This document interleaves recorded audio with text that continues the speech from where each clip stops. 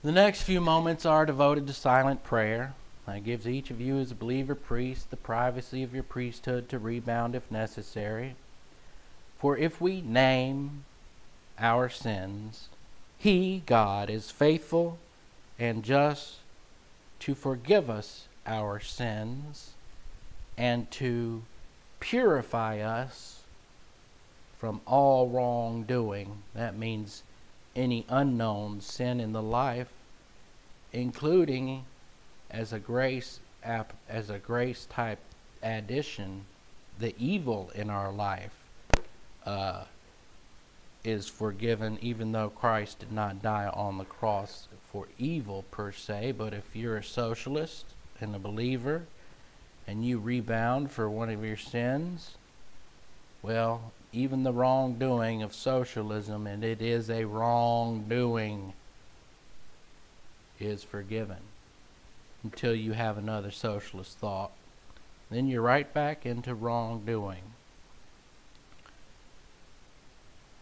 So, you have the next few moments to name your sins to God, so let us pray.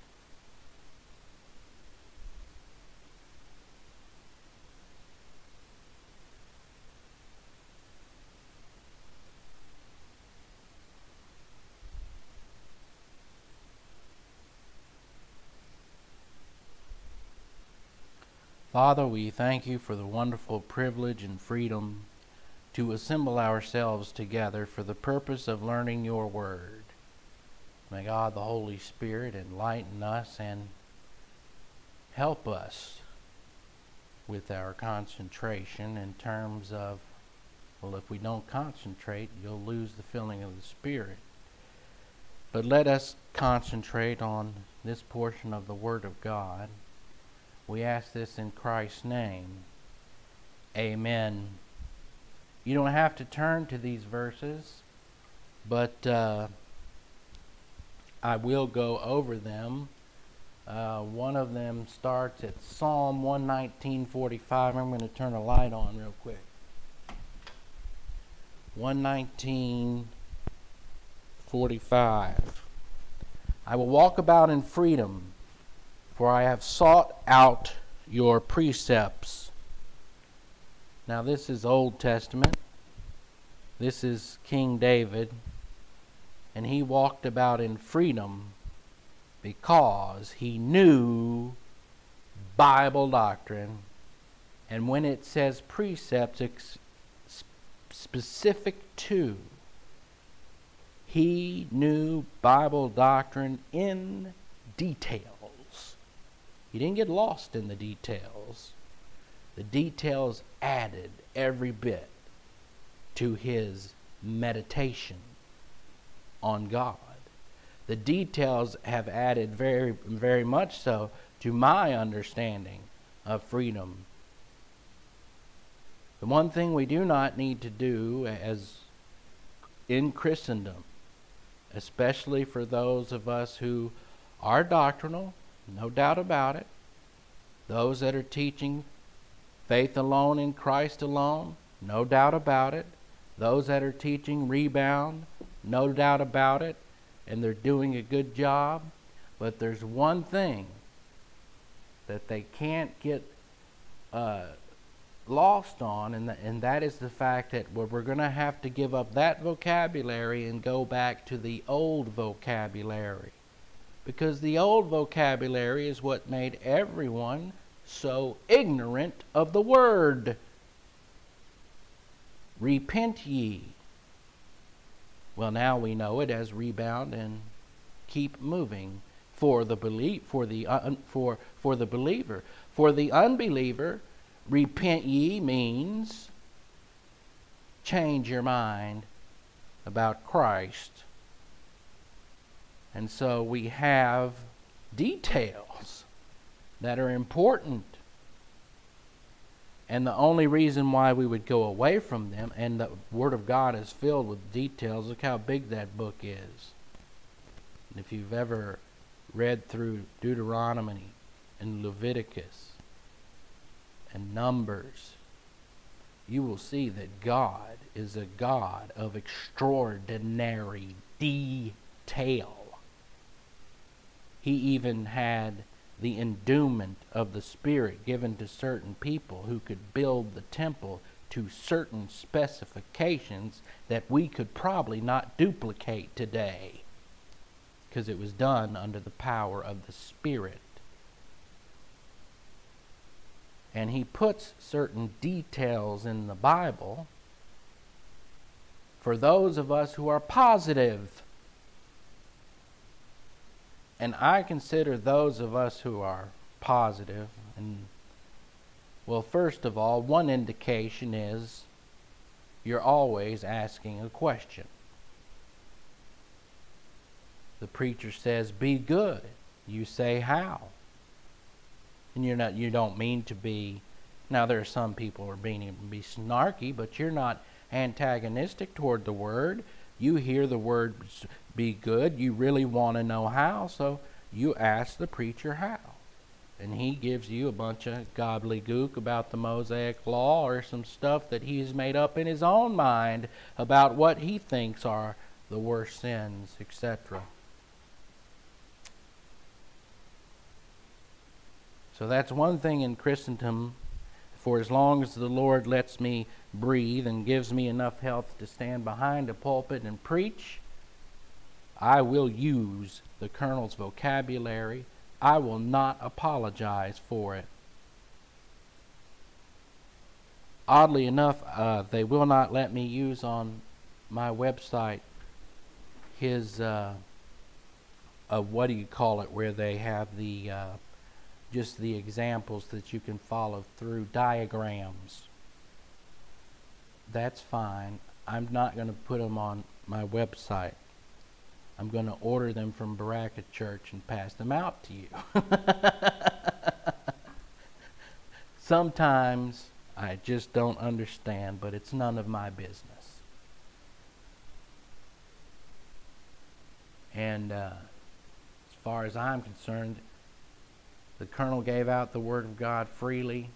Somebody else wants to give it out freely, then that's fine. Now, somebody's trying to profit off of it well, that's still their business. They'll be cursed by God. So I really don't understand that thinking at all. But that's not my place. It's not my church. Used to be my church. This is my church. and I still listen to Colonel Thieme and uh, study uh, systematic theology. Lewis Sperry Chafer, a super genius, and I still study under. Uh, I, am trying, at least for a while there, with the Greek, and at least looking at some exegesis and looking at some verses and putting them together, and then seeing how the colonel put them together, and was putting two and two together. But I'm, I'm by no means a Greek student. I couldn't write you the Greek alphabet if my life depended on it, but I could spout to you quite a bit of the Greek language and uh, I would know what it means. I just can't write it. You know, there there's people who can uh, not read and write but speak pretty well. Eh, Pistuo epiton koreon kai so they say su. Believe in the Lord Jesus Christ, and thou shalt be saved. That's Greek. And by the way, that is the old way the Greeks would say it. The Greeks today would say it differently. They would say pistevo. But you've heard that if you've listened to the colonel. Or I could say to you, metanoieo e Christos change your mind about Christ. Or I could say to you, poimen didaskalos, pastor, teacher, with a hendiadys, which means a hyphen.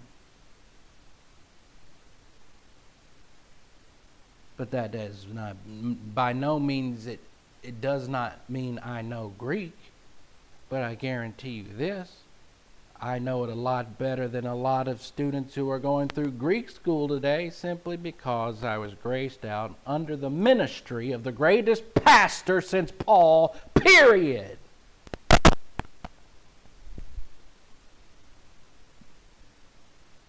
Jeremiah 34:17 Therefore this is what the Lord says, you've not obeyed me, you have not proclaimed freedom to your own people. So I now proclaim freedom for you, declares the Lord, freedom to fall by the sword, plague, and famine.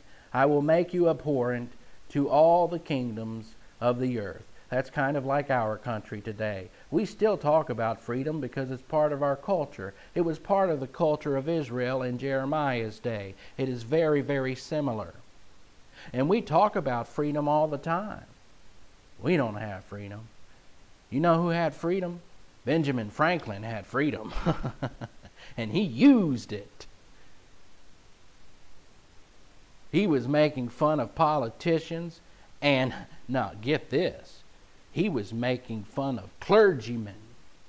He was making fun of Puritans. He was making fun of politicians. He was making fun of anyone on two legs that he thought he could make fun of. And he did so because he was a capitalist and said, I can make money off this, plus I'm a genius, and that is how I think of them. As he drank his bourbon, a little too much all the way into his old age. But that's Benjamin Franklin, a super genius. I don't know if he was a believer or not. I have my doubts.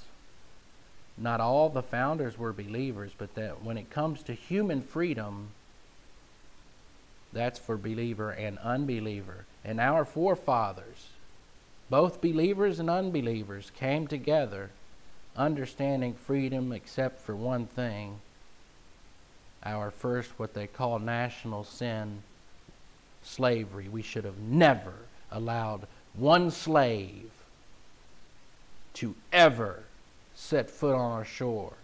Now, we, we could have let Africans come to our shore to enjoy our prosperity, but we should have never enslaved them. Never. And I know this because it is a social evil and also because of the book of Philemon in the book, uh, of, and this is dealing with believers especially, a believer should not own another believer. That sounds stupid. And for us, it sounds stupid to say, I can own another person. But when you take away someone's privacy, you own that person. And that's exactly what's happening in the United States of America today in a lot of areas where government has gotten too big. So, God says, I'll show you freedom. You always talk about freedom, but you haven't obeyed me. And you have not proclaimed the true freedom to your own people. So now I proclaim you freedom 28 hour work week, food stamps, unemployment check eventual destitution. And that's part of the third cycle of discipline. Jeremiah here was talking about the fact that uh, not only would there be famine, but they would go under the fourth and then finally the fifth cycle of discipline. And we're heading in the same direction at, at a rapid rate and you might look at me and say, I've heard this all my life. I think we might can make it. You might be right. I'm not a prophet. And I hope we can make it. But the only way we are going to make it is because of you and you and me and whoever else gets evangelized and gets with the Word of God. And I think the only reason this nation right now is on life support as a client nation is because God is either just giving us that one last gasp of breath of grace to say, Look, I tried to give it to you. I had voices crying out in the wilderness, but you would not listen. Or there might be a generation that responds It's going to be one or the other.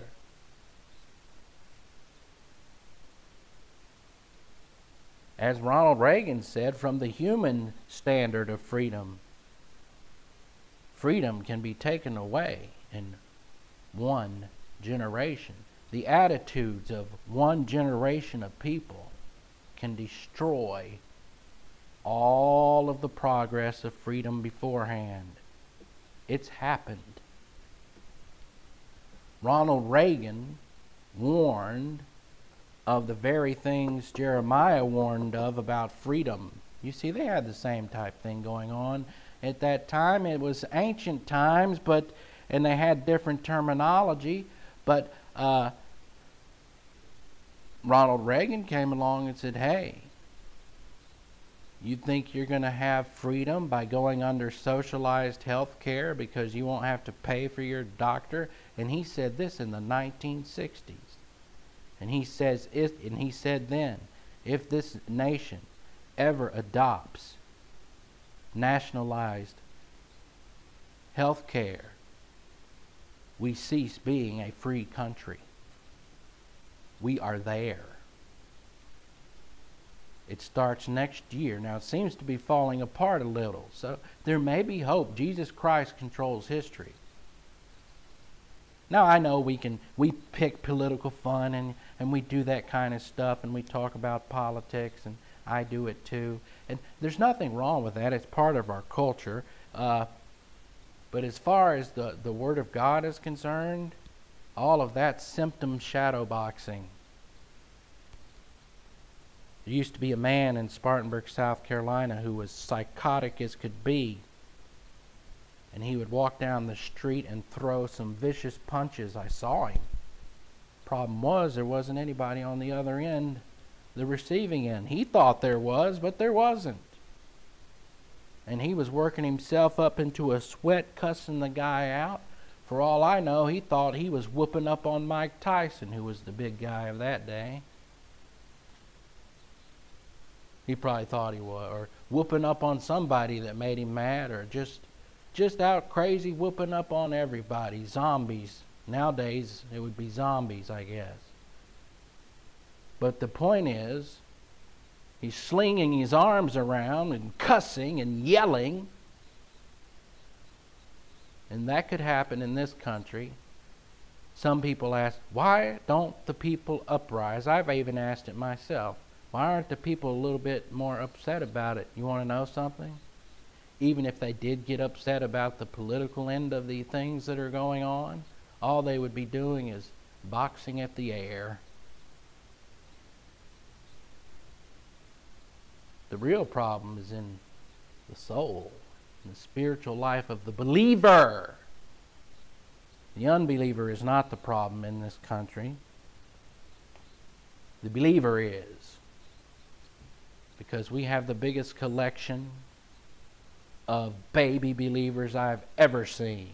I mean, it's gotten worse. There was a time I could go around and have a normal conversation with some people about Bible doctrine and use the colonel's terminology and not be looked at like a freak or not be, uh, I don't know, trained on how to do something differently because we can't all be like the colonel now, can we? No, we can't, but we can all use his vocabulary. Now, can we not? I remember a time when we all did. I did. When I went to the conference, everybody, most everybody there did, who knew the language. The pivot was larger, much larger. Now people have gone off into goofy land. And if you don't say something a certain way, and if you have a crass type language, which just means common English, and if you know how to tell a good joke in writing anyway, then uh, they just they're just gonna go ballistic. They're not gonna. They're just gonna go all legalistic. We're headed straight back toward legalism, and I wanted to teach some. I wanted to teach legal, uh, legalism. I have to. It's in the Bible. But I wanted to get to some other things. But these people have gone back to the milk. Maybe there are some out there who who will get it. A new generation. So I'll keep plugging on. 2 Corinthians 3:17. Now the Lord is the Spirit, and where the Spirit of the Lord is, there is freedom.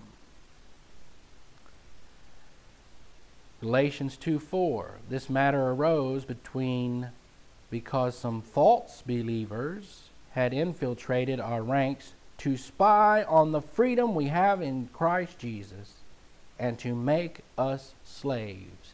That's legalism, trying to stick their long proboscis, their nose, into uh, someone else's business, pry into their privacy, and spy on their freedom and tell them they're not doing this right and that right and the other right.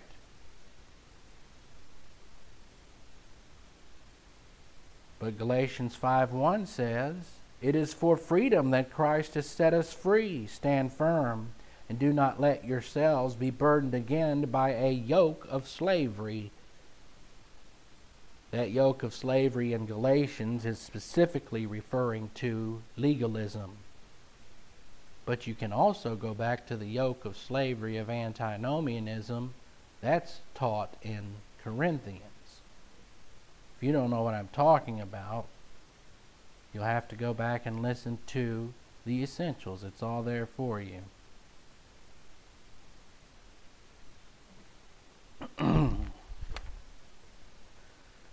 well, uh, the other night we watched a show. I am going to close it up earlier than usual, and then continue tomorrow night if I feel like it.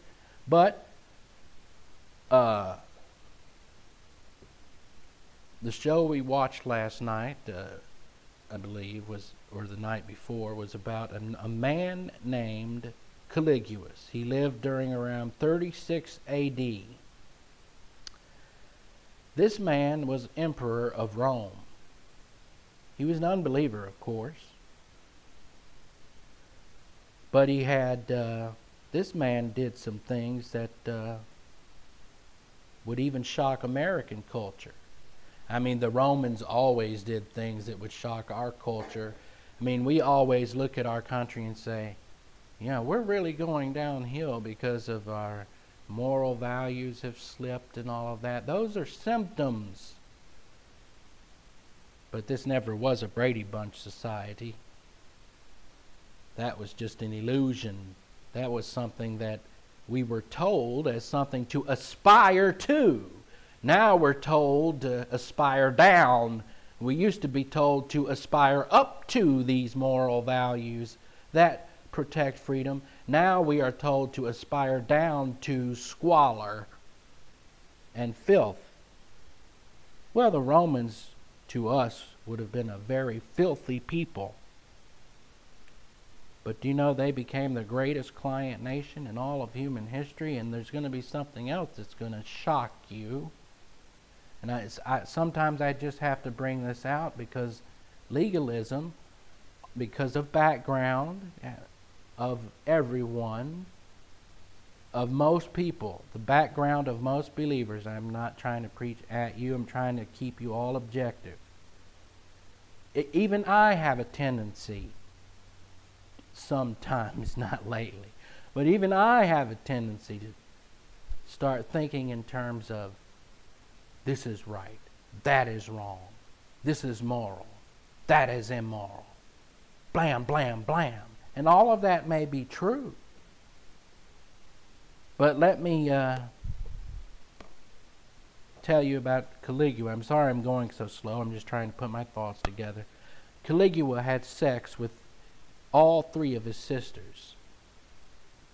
He had sex with his uncle.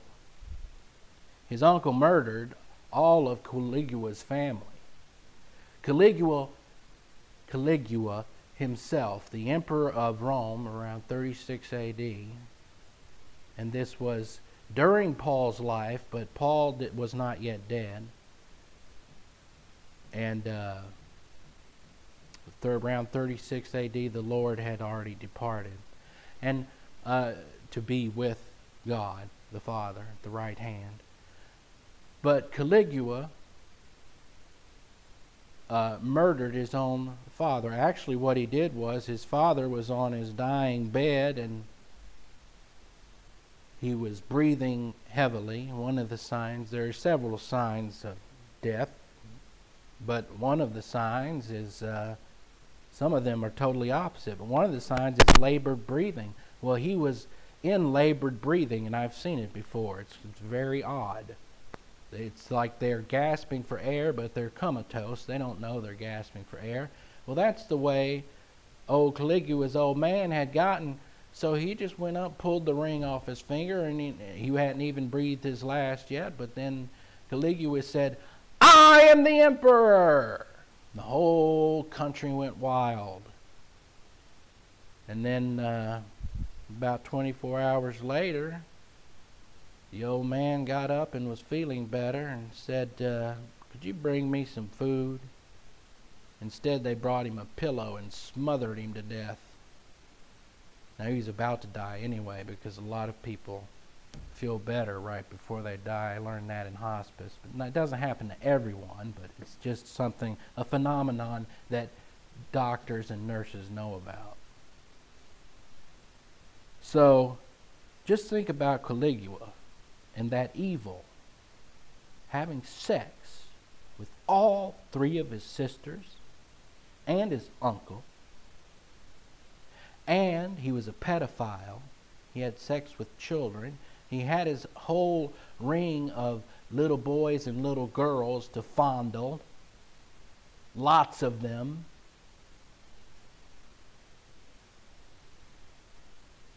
But guess who is the worst of all sinners?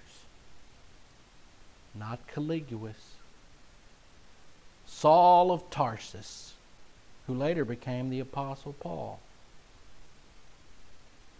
And how do we know? Because God, the Holy Spirit, through the very words of the Apostle Paul, tells us in 1 Timothy 1.15, Here is a trustworthy saying that deserves full acceptance in other words, I'm telling you the truth. this is not a lie, and you better accept it. Christ Jesus came into the world to save sinners, of whom I am the worst.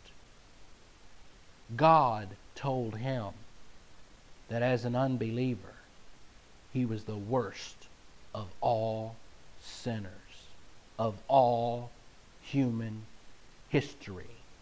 And he would have never thought of having sex with his sister. And he would have never thought of mur- uh, murdering at least not his own family. He would have never thought of breaking one jot or tittle of the Mosaic law or all the other thousands of human additions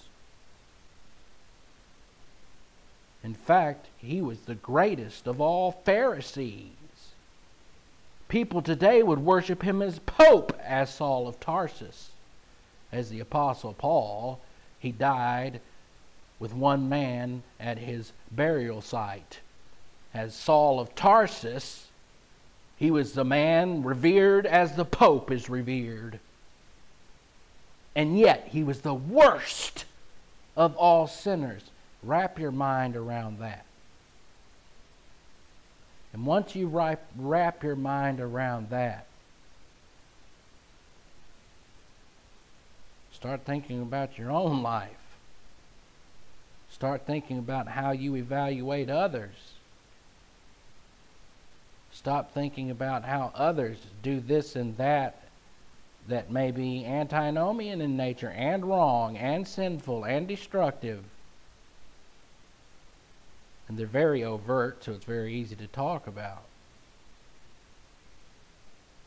But I very rarely hear, until usually until lately, about legalist. And I, I only say until lately. not among Christendom. But uh, I rarely hear. They all want to act holy. You can't say one word out of place, and if you do, well, you are human refuse. Bye bye. And yet they walk around in self righteousness, and they're, well, best way I could put it, and then I'll close. My cousin decided he found a really neat mud hole. And he had his first or second motorcycle, and him and his friends went out through there, and they tore that place up. And they had a blast. They were tearing up the Spartanburg sewer uh, system let, let off. And they came home covered in that stuff and they could not smell themselves. That's a legalist. They are covered in dung or Spartanburg sewer system crap, however you want to put it. And they can't smell themselves. And yet they're so ready to take their finger that has got that little dung under their nail and they want to stick it in your eye and pluck out the little, the little, the little uh, toothpick out of your eye with their crappy little finger. You wonder why I get irritated sometimes? I mean, I don't. People say don't make it about me, but I'm just trying to make you relate to how I'm thinking in terms of the spiritual life. I'm not thinking in terms of I want to be antagonistic. I'm thinking of terms of a piece of crap finger coming into my eyeball and trying to prick out a little bitty, tiny piece of uh, what we could call it a toothpick, compared to the fact that they have a log in their eye covered in dung. That's a legalist for you. And what's a legalist? Well, we could all get into it any of us who get, in, get into judging and maligning and gossiping and ripping somebody else down because their sins are differently than our sins, because we don't sin the same way they sin, because their sins are out in the open and everybody's going to know about it and make fun of them. Well, nobody would make fun of us. We're too respectable, aren't we? Yes, we are. Well, aren't we great? No. You're running around the Spartanburg sewer system on your motorcycles with a big fat you know what? Eating grin on your face. So, with your heads bowed and your eyes closed, Father, we thank you for the wonderful privilege and opportunity of studying these things. May God the Holy Spirit challenge us by what we've studied. In Christ's name we ask it. Amen.